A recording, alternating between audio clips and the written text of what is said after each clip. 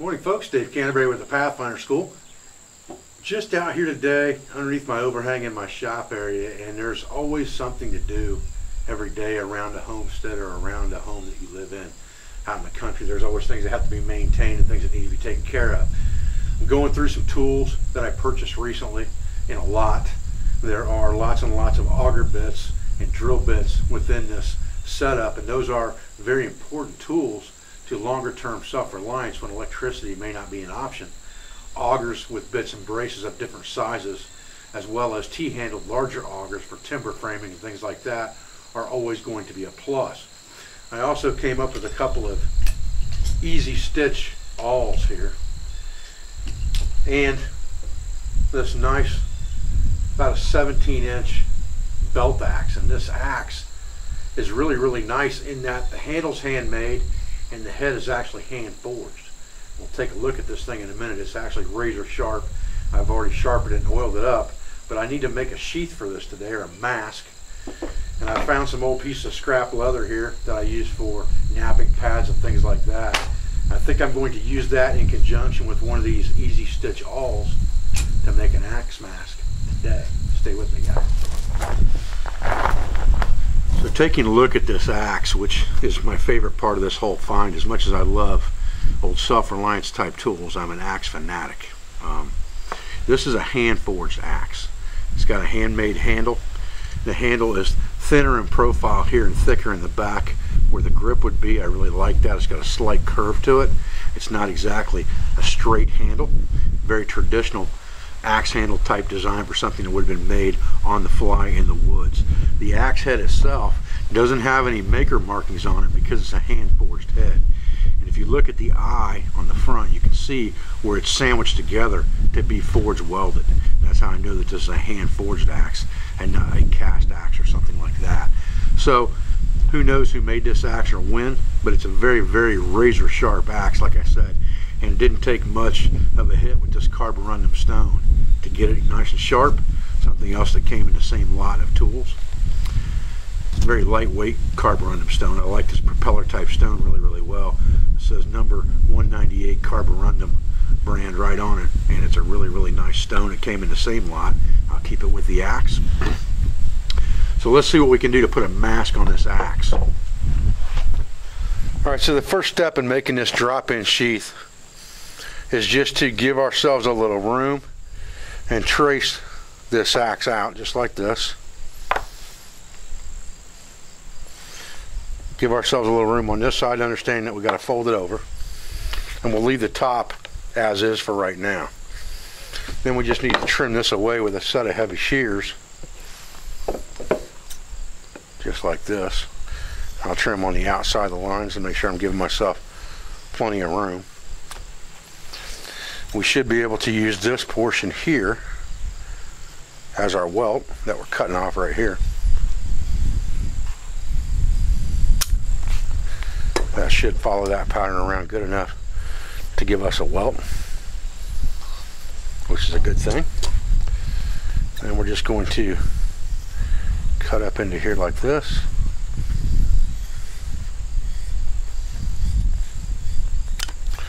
Then it's as simple as taking this piece and tracing it onto this other piece. Let's kind of make this a little bit more of a gentle curve there, like that.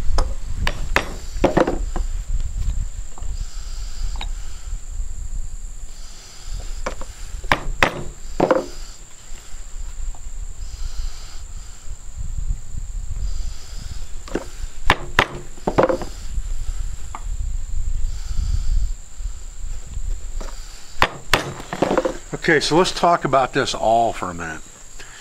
The concept behind this awl is that there is a loadable spool right here. And the tool comes with several things inside the handle. It comes with a couple different needles and it comes with this screwdriver type tool. And the screwdriver is to remove this spool. And there's a couple different brands of these on the market. Some of them have a spool that's external some of them have the spool that's internal like this one. So we're going to take that screw out of the spool. Now you could reload this spool very easily with a small diameter bank line. Like a number eight bank line would work fine for this. And then you could reload this spool instead of buying another spool of twine. You could just reload this with that bank line. This one's been tied off on the inside keep it from coming unraveled. But it's just a waxed nylon thread. So it's really no different than a small diameter bank line.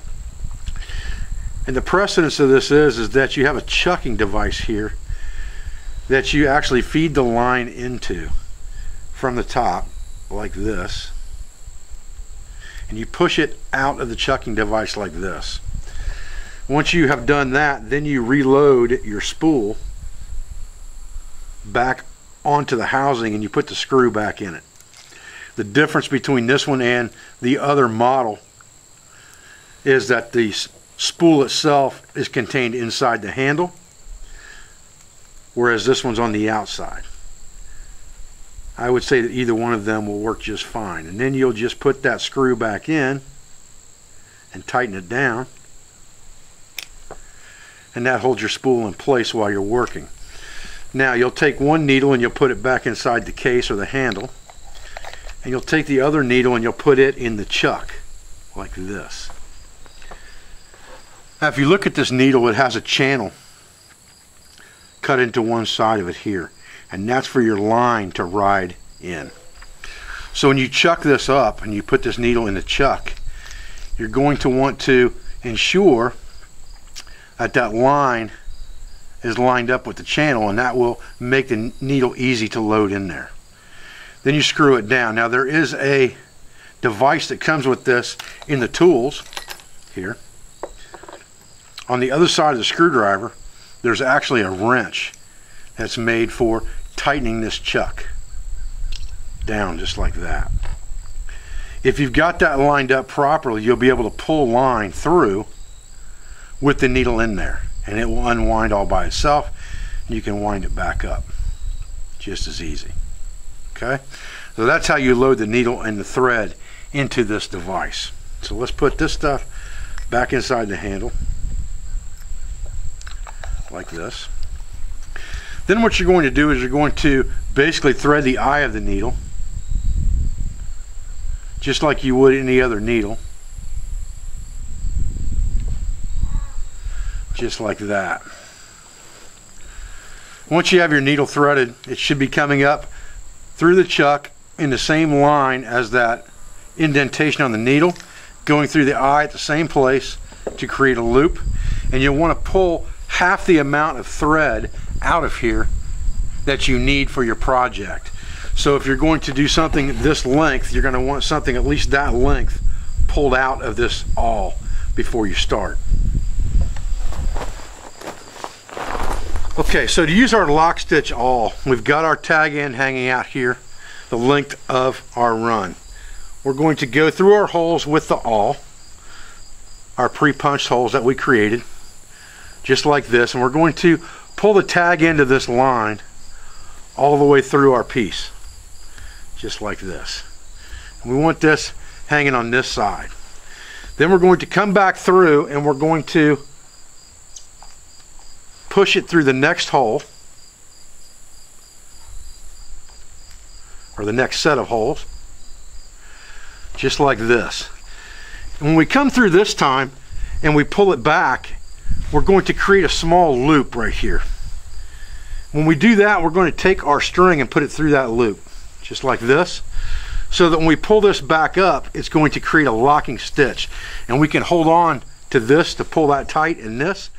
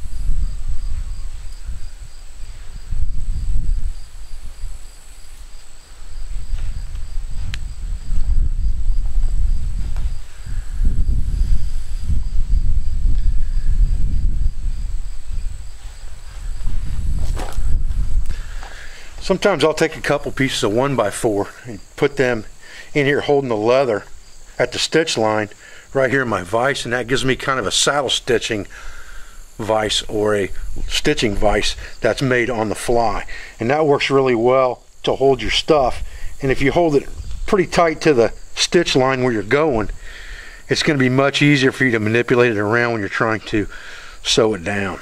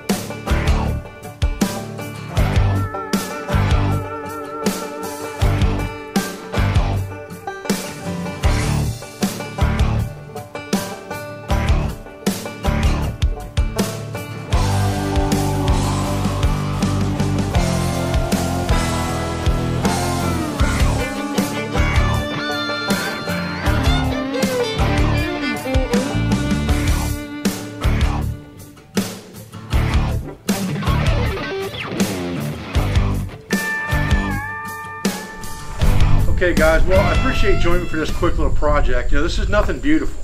It doesn't have to be. This has to be functional. I'm just looking for something to protect myself from the sharp bit of this axe when I'm carrying it in my bedroll or my backpack. And I wanted to test out this Easy-Awl that came with these tools today. And what's interesting to me is to learn using different tools and understand what those tools can do for me in a longer term self-reliance type scenario. It's the same reason I learned to blacksmith, the same reason I learned to trap, and the same reason I learned to tan and prep hides. It's because in the longer term, those things could become necessities. And tools that can be used with no electricity would definitely become a necessity in a long-term scenario, whether it was on your homestead or whether it was in the woods. And understanding what tools you're going to take with you when the time comes if you have to leave your homestead or understanding what the most important tools are to your longevity is a very important thing for us to explore together.